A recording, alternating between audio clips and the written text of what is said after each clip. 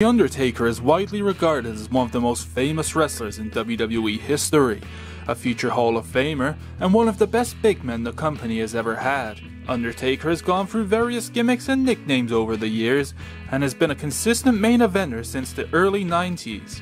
Despite this, his appearances in recent times have largely been disappointing due to the dead man's age and injuries finally catching up with him.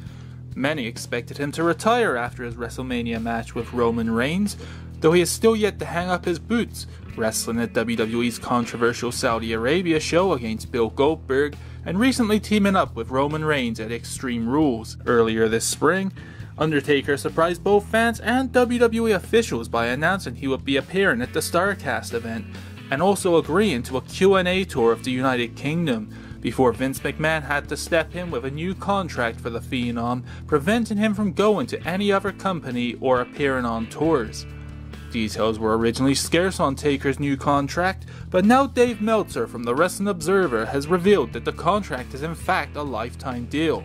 McMahon, afraid he would lose one of his most famous stars, apparently gave him the new contract for more money in order to make sure The Undertaker will be locked into the WWE for good, even after his wrestling career is over.